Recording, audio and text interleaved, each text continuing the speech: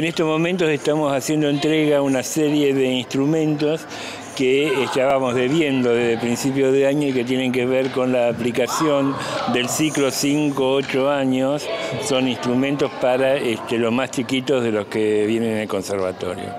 En esta oportunidad compramos con el director de Fondos Nacionales, Nazario Llanos, se compraron este, 10 teclados, 10 guitarras este, para chicos, eh, 10 ukeleles, 6 guitarras electroacústicas y bueno, otros instrumentos de percusión que eran necesarios para poder desarrollar este, las clases con los chicos. Son instrumentos que forman parte del patrimonio del conservatorio, o sea, son instrumentos que eran necesarios para que los más chiquitos pudiesen este, hacer uso de estos instrumentos.